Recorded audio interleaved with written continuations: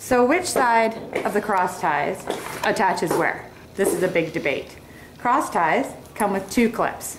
You have a quick release clip on this side, and you have a regular clip on this side. Some people think the quick release clip goes on the horse,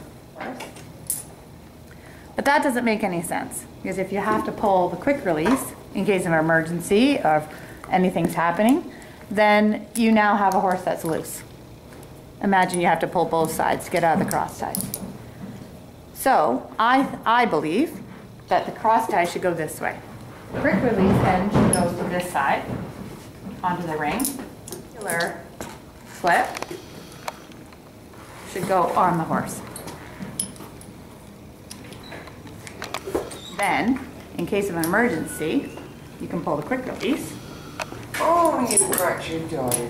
and you've got How tall you a lead rope.